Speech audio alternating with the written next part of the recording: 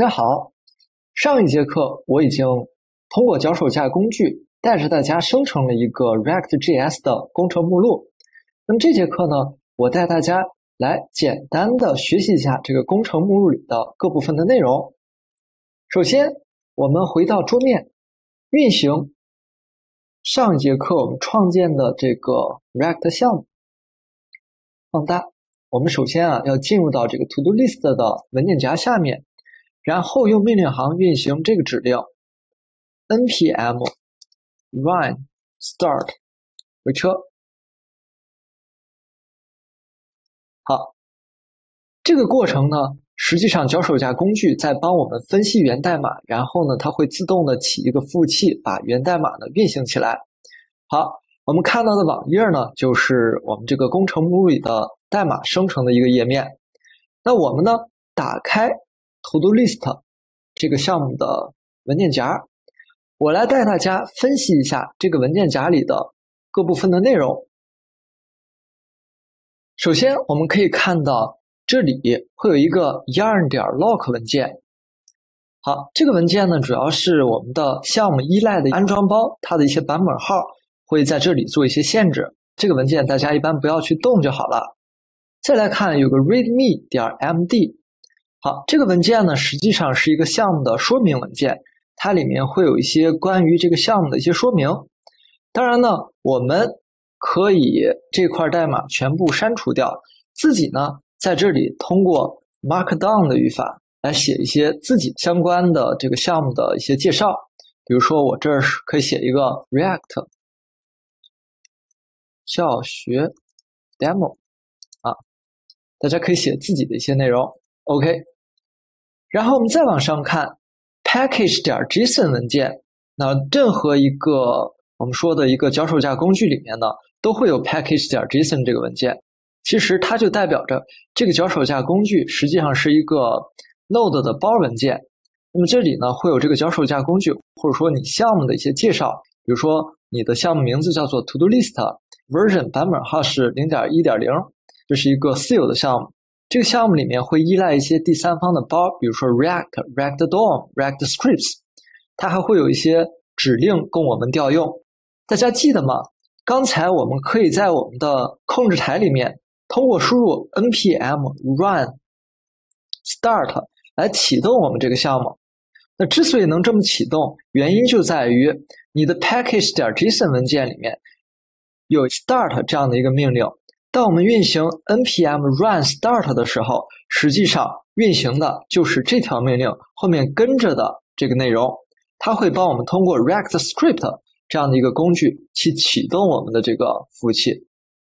OK，那关于 package 点 JSON 这块的内容呢，其实主要是 Node 里面的一些内容。那大家呢也不必担心这块的东西你不太了解，你只要知道啊，package 点 JSON 文件是一个 Node 的。包文件，它可以让你的项目变成一个 Node 的包就可以了。啊，这里的东西一般来说我们也不会去动它，它是脚手架自动生成的一个文件。OK，那接下来我们继续来看 Git ignore 文件呢，是我们如果用 Git 管理我们代码的时候，有一些文件你不想传到 Git 仓库上，可以把这些文件定义在 Git ignore 这个文件里面。当然呢，目前来说我们还没有用到 Git。所以现在我们先不必管它。Node Modules 这里面放的是我们的这个项目依赖的一些第三方的包，这些包不是我们自己写的，是脚手架工具呢。要想实现它自己的功能，就需要依赖一些外部的 Node 的包文件。那这些包文件呢，都放在 Node Modules 里面。这里面的东西我们也不要动它，它是一些第三方的模块。好，Public 目录，我们来看 Public 目录里面有个 Fav Icon 这样的一个东西。它是什么呢？我们打开我们的网页，大家可以看到我的这个 React 项目左上角，大家来看这个位置，它会有一个很小的这样的一个 icon。那 Fav icon 这个小图标，大家看，正好就是你网页的这个小的 icon。好，大家呢，如果自己做项目的时候，你可以到一些网站上去做一些 ICO 这样的。小的图标文件，然后起名叫做 Fill Icon，覆盖掉我们项目里的这个文件。这样的话，你的项目的左上角的这个图标就可以变成你自己的这样的一个小图标。再来看 index 点 html，这是我们项目的首页的一个 HTML 模板。那这里呢，大家可以先不去动它。你可以看到，其实这个模板很简单。这些注释呢，啊，是帮助你理解这个模板用的。你把这些注释删掉，再来看的时候，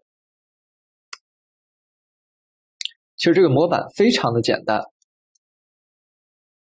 就这么多的内容。首先，meta 标签这不必说。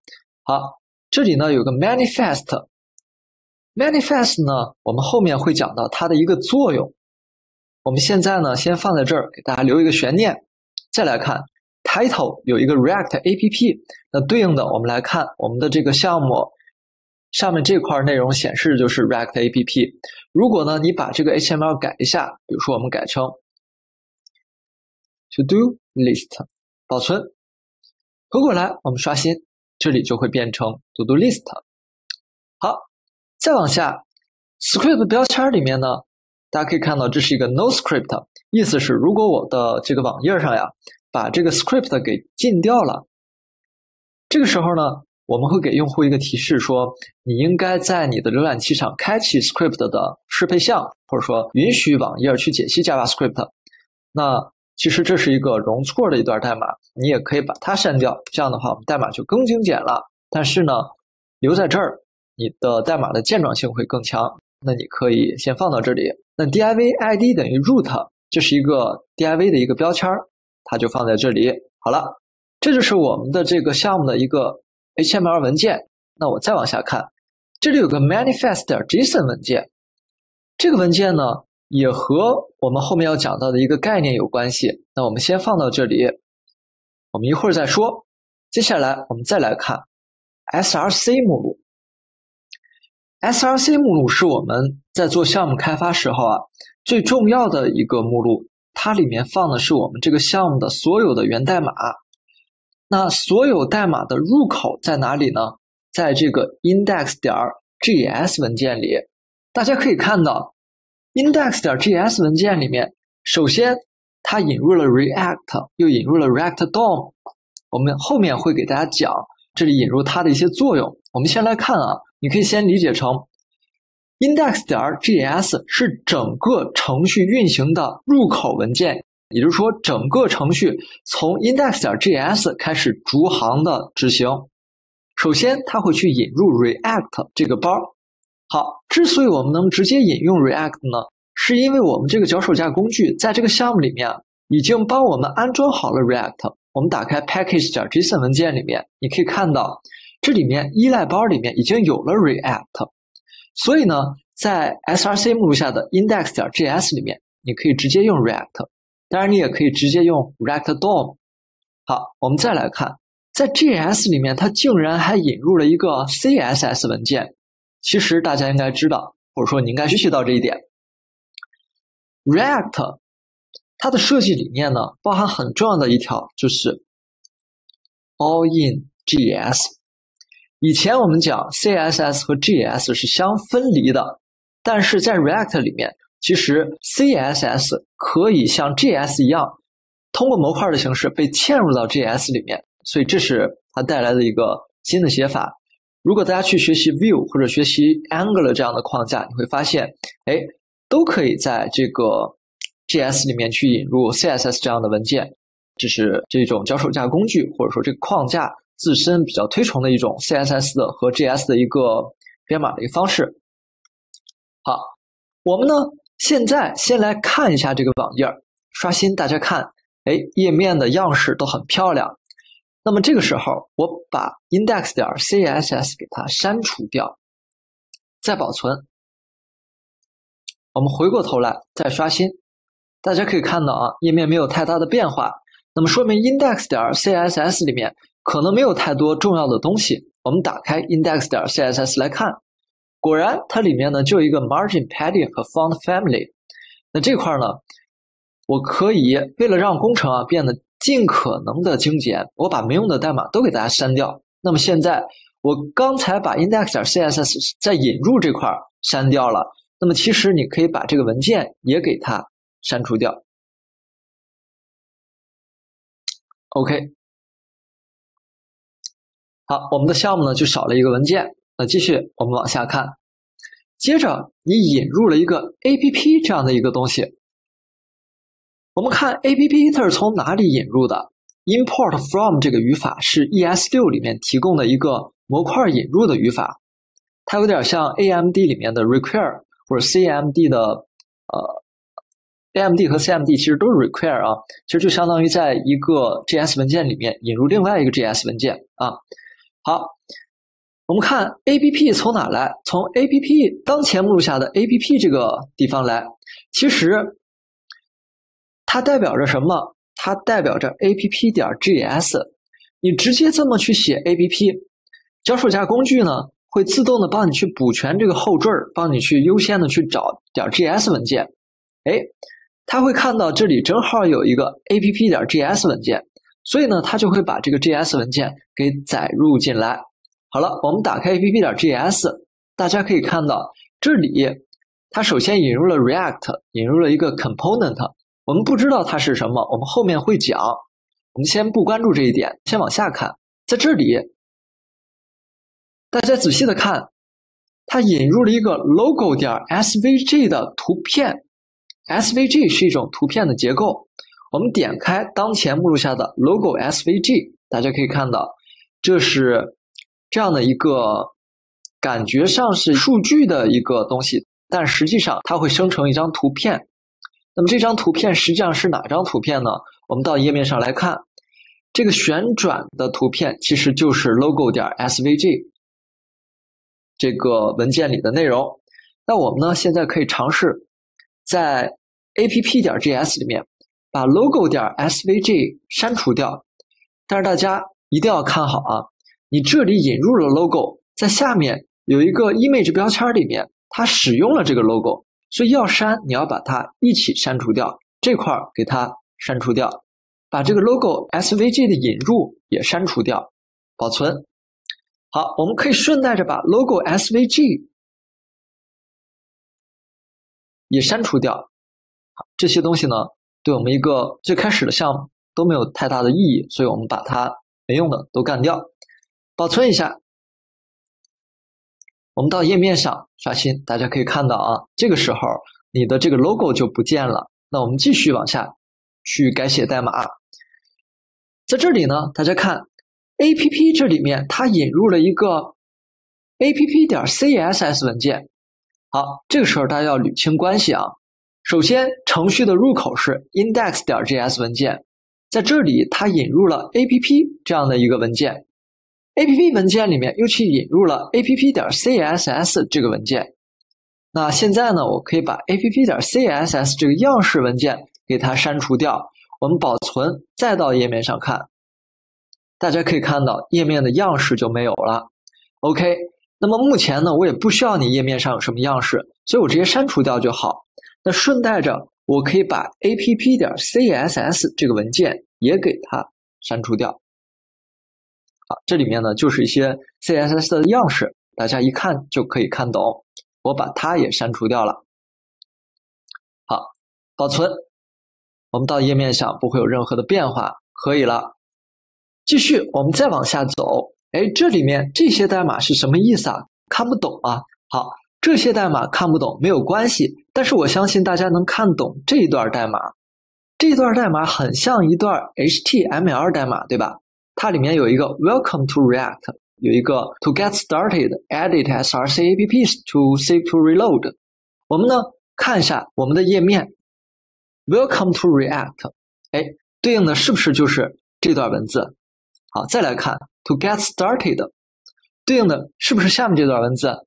那我就可以再精简一下我们的代码，我把这块内容都删掉，这里就显示一个 Hello Dell 或者 Hello World，保存。我连这个 class name 都把它去掉，我们放到一行，或者说这样就可以了。保存一下，回到我们的页面。我们的页面上现在显示的就是一个最简单的 Hello World，没问题。回过来，我们继续往下，app 点 js 到这儿呢，我们现在只是不知道这段代码是什么意思，但我们可以大概的理解，其实呢，它就是往页面上显示一个 Hello World 这样的一个作用。好，回到 index 点 js 里面，继续往下看，大家可以看到啊，这里我们引入了一个 register service worker，那它是一个什么样的东西呢？实际上，这里面我就要给大家讲解一个概念。目前前端有一个比较新或者说比较流行的概念，叫做 PWA，全称应该叫做 Progressive Web Application。它的理念呢是让我们通过写网页的形式来写一些手机的 APP 应用。好，引入 Register Service Worker 这个内容呢，实际上就是来帮助我们借助网页去写手机 APP 应用的这样的一个功能。那它可以做到一个什么样的效果呢？假设我们引用了它，然后呢，我们写了一个网页写了一个网页之后呢，把这个网页上线到一台支持 HTTPS 协议的服务器上，那么这个时候，我们的网页就会具备这样的一个特性：当用户第一次访问我们这个网页的时候，哈，他需要联网才能看到这个网页。但是，一旦这个用户呢访问网网页之后呢，他突然断网了。如果你这个项目引用了 Register Service Worker，这个时候即使它断网了，第二次再访问的时候，它也依然可以看到之前访问的那个页面，因为 Register Service Worker 会帮助你把之前的这个网页存储在我们的浏览器之内。这样的话，下一次即使你没有网络，也可以去使用这个网页。所以呢，它是做这个功能的时候我们要使用的一个东西。当然呢，我们现在做的这个项目是一个最简单的项目，我们开发的这个项目也不需要它做到 PWA 这种效果，所以为了我们尽可能简单的去进行 React.js 的学习，我们这段的内容也可以把它去除掉。当然，大家呢心里要有个数，Register Service Worker 是干什么用的？主要大家把精力集中在 Service Worker 和 PWA 这两个概念上，然后你可以搜索一些相关的概念。删除掉之后呢，大家来看，刚才你引入了 register service worker，那下面呢你还调用了这个方法，那其实要删，你得把下面这个东西和上面的一起删掉。好，保存，回到桌面，我们可以看到 hello world 依然可以正常的被显示出来。这个时候呢，我们回到我们的网页，我们继续来看，刚才呢我把 register service worker 给删除掉了，那实际上呢。你也可以把当前目录下的这个 register service worker 这个文件也删除掉啊。OK，好，大家可以看，当我们做到这一步的时候，我们可以看到整个项目目录里源代码部分，我们只有两个文件了，一个是 app 点 js 文件，一个是 index 点 js 文件。哦，这里还有一个文件叫做 app 点 test 点 js。这个 JS 文件呢，它是一个自动化的测试文件。当我们做 React 或者 Vue 的项目的时候，它里面呢，因为我们会涉及到一些函数式的编程，所以呢，我们可以做一些自动化的测试。那 app 点 test 点 JS 其实就是一个自动化测试的文件。好，我们这里呢也先不讲自动化测试，所以呢，你可以把它也给删除掉。那我们再看这个项目目录就很简单了。首先，app 点 js，它呢就负责显示一个 hello world 的内容，而 index 点 js 它是干什么呢？它是引入 app，然后呢把 app 渲染到页面之上。那怎么渲染的？我们后面再说。好，回过头来我们再来看，在这个项目下呢会有两个文件，刚才我们给大家提到的。f i l icon 是左上角的图标，不说了。manifest 点 json 是干什么的？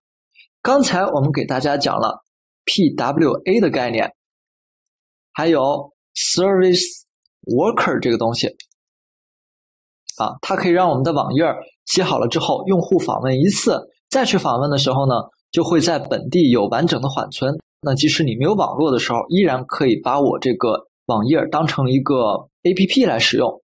好，Manifestation 呢，它里面定义了我这个网页，如果啊，你可以当成一个 APP 来使用，就可以把它存储在桌面上。哎，有一个快捷方式，在手机上或者说在电脑上，你可以通过快捷方式直接进入到我这个网址。那么这个快捷方式的图标应该怎么展示呢？Manifest.json 里面你就可以配置 icons，在这里可以定义这个快捷方式的图标是什么样子，怎么显示都可以在这里写。